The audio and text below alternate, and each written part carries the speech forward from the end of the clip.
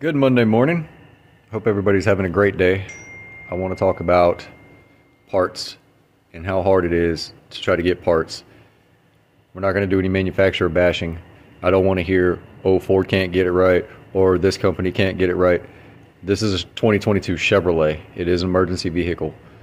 So the rear brake pads are on national back order with no ETA, which means they don't know when they will get them in. I did the front brakes already. So, you guys looking for parts for your vehicles? I don't care what kind of vehicle you have. I just want to know if you're trying to find parts for it and you're getting back orders or the parts house or the dealer doesn't have it. Uh, let me know down in the comments what you're looking for and, and how much trouble you're having trying to find it.